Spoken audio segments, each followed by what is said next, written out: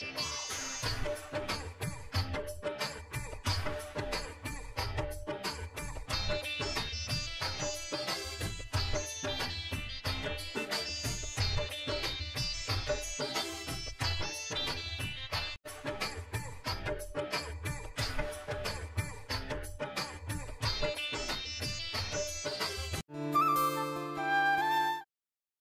Guys आज है सावन का पहला सोमवार और ये देखो हम लोग आ गए हैं मार्केट क्योंकि दी को भी डालनी है हरी हरी चूड़िया अपने हाथों में, ये देख सकते हो। हरी हरी चूड़िया लगी हुई है यहाँ पे और दी को ये वाला पसंद आया सिंपल सा हरा कलर तो फिर ये डलवाने लग गई हरी हरी चूड़ियाँ।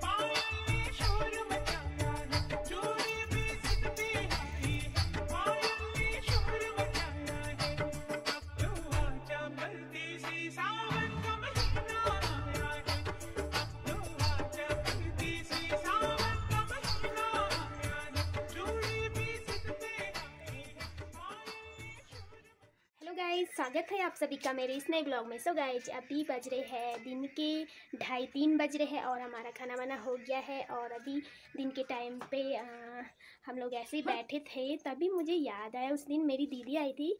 आ, मेरी दीदी आई थी तो दीदी ना हमारे लिए आड़ू ले आई थी। तो जब से वो आड़ू वो आई थी ना तब से यहाँ बारिश ही शुरू हो गई थी। जिस वजह से हमको आड़ू खाने का टाइम ही नहीं मिला। बारिश में कौन आड़ू खाता ना? तो आज बड़ी मुश्किल से चार पाँच दिन की बारिश के बाद आज मौसम सही हुआ है। तो फिर आज हम लोग खाएँगे पहाड़ी स्टाइल में। आड़ू को कूट के। हरी चटनी बनाएँगे हरी हरी मिर्च की चटनी बनाएँगे और उसमें हम आड़ू को कूट के खाएँगे। तो फिर गाय ये रही गाय ये है आड़ू। और अब हम आपके साथ शेयर करते हैं ये आड़ू। तो फिर चलो गाय सबसे पहले इसको अच्छे से कूटते हैं। और ये देखो गैज ये आ गया यहाँ पे कालू भी आ गया है और मम्मी खेत में गई थी। इस बार ना खेत में आलू भी थोड़े से ही हो रहे हैं ज़्यादा नहीं हो रहे छोटे छोटे इतने ही छोटे हो रहे हैं। और ये देखो कालू ये सोच रहा है मुझे क्या जो दे रही है खाने के लिए। तो देखने के लिए आ रहा है ये। और ये देखो गैस ये है इस बार हमारे खेत के जो आलू है ना, इतने छोटे छोटे हो रहे नहीं तो और टाइम पे बहुत ज़्यादा होते थे। बड़े बड़े ठीक ठाक होते उतने ज़्यादा भी बड़े नहीं होते थे। लेकिन इस बार तो गाइज़ पता नहीं आलू को क्या ही हो गया ना। छोटे छोटे हो रहे एकदम। तो फिर गाइज़ ये रहे हमारे आड़ू। ये तो रहे हमारे आड़ू और ये रही हरी मिर्च। ये रहा नमक और ये रहा सिलबट्टा। तो फिर चलो, सबसे पहले हम आड़ू के लिए नमक पीस लेते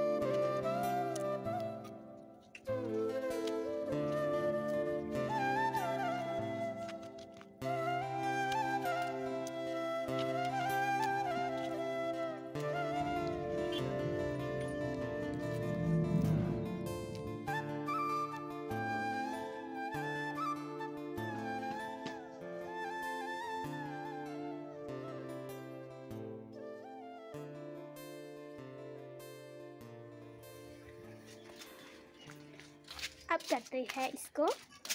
अब कूटते हैं इसको सिलबट्टे में।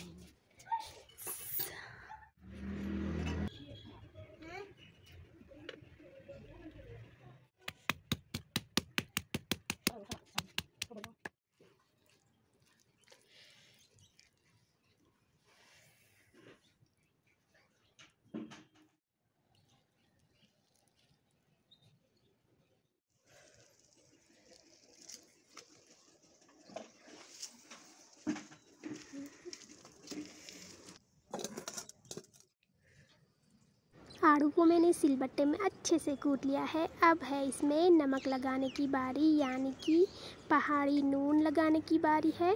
इसमें मैंने हरी मिर्च और नमक दोनों ही पीस के रखा है। ये देख सकते हो गैज अब इसको मिक्स कर लेते फिर फटाफट से इसको चट भी कर लेंगे।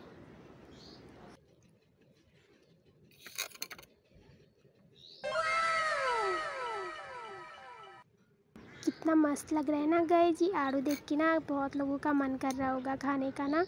तो फिर कोई नहीं गाइज़ आप आ जाओ। हम आप लोगों के साथ ज़रूर शेयर करेंगे। जल्दी से आ जाओ आप लोग।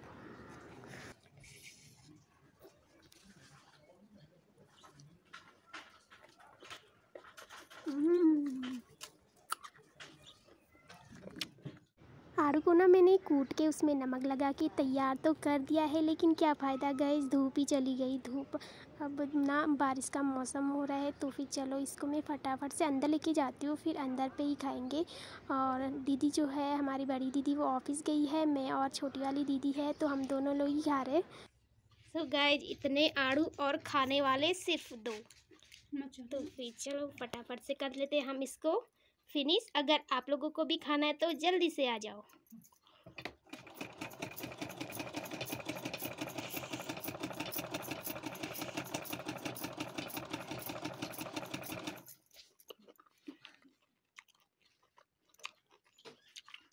सो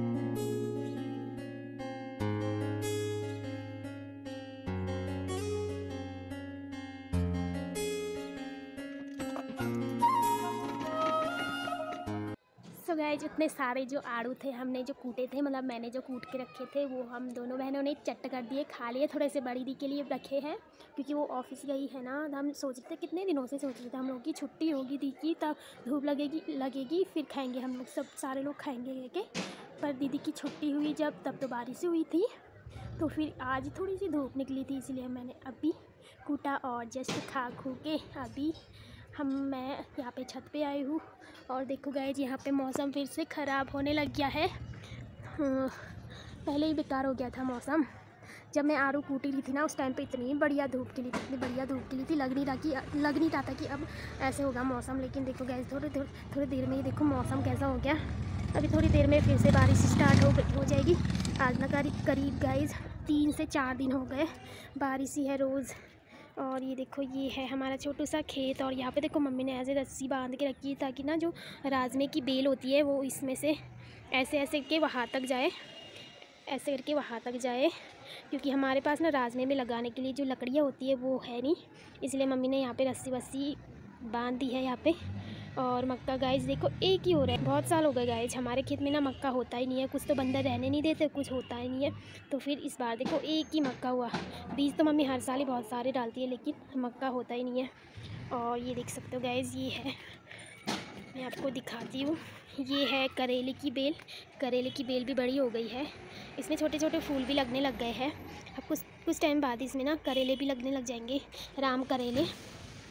और तो ये सारे गाइज़ आलू है। अब एक दो दिन में मम्मी सारे आलू निकाल देगी। और तो गाइज़ और ये है गाइज़ ये है ककड़ी की बेल। और यहाँ पे जो छोटे छोटे दिखाई दे रहे हैं, ये वाले, ये है सारे राजमे हैं। यहाँ पे भी राजमे वो है। और यहाँ पे है अरबी पिनालू। और इसमें मम्मी ने अभी थोड़ी देर पहले ही खोद के, खेत खोद खेत खोद के इसमें थोड़े से उठ बोए हैं। क्या कहते हैं, मूली वो है, मूली के बीज डाले हैं, देख सकते हो, लेकिन एक चिड़िया आ रही है ना, घुघूती कहते हैं, वो बार बार आ रही है, जितने वो ऐसे नुकसान करती है गैस ना, जितने बार हम खेत में ऐसे खुदा हुआ खेत दिखेगा ना उसको तो आके देखती है कि इसमें है क्या तो फिर सारा ही चुग के खा लेती है। ये देख सकते हो, इसीलिए मैं यहाँ पे बैठी हूँ। वो, ये जो देख रहे हो, ये लाइन, ये है राजमा। ये देख सकते हो गैस ये है राजमा। उसी के जस्ट बगल में एक दो पत्ते दिखाई दिखाई दे रहे होंगे। थोड़े से बहुत पत्ते दिखाई दे रहे होंगे, वो है मूली।